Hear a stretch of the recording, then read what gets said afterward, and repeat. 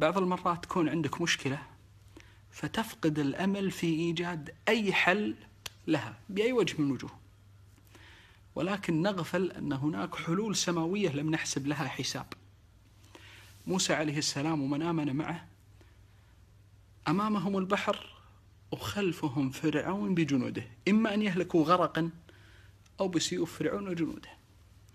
فغير الله سبحانه سنن الكون.